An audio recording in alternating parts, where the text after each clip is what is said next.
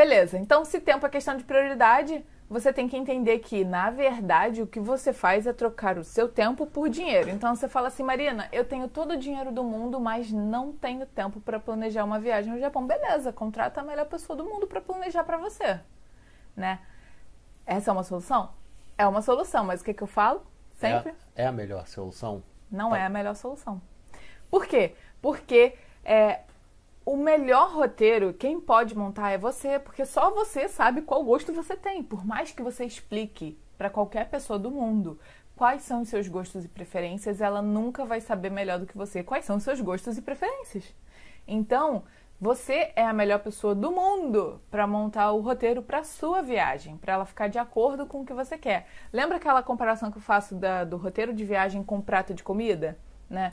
Pode ser que alguém vá montar o seu roteiro e você fique satisfeito com ela, da mesma forma que alguém pode botar o prato de comida para você e você goste do prato que foi montado? Pode ser, mas se ao invés de o prato vir pronto para você, você poder escolher todas as opções de um cardápio ou de um buffet que você quer colocar no seu prato, é claro que o prato vai ficar mais ao seu gosto, porque a gente tem um gosto.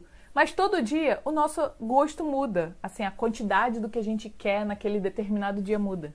Então, assim, cara, se nem a gente às vezes sabe o que a gente quer, que dirá o outro. Então, ninguém melhor do que você para montar o seu roteiro. Ele, o roteiro montado por você vai ser sempre a melhor opção em termos de aproveitamento de acordo com aquilo que você gosta de fazer, tá?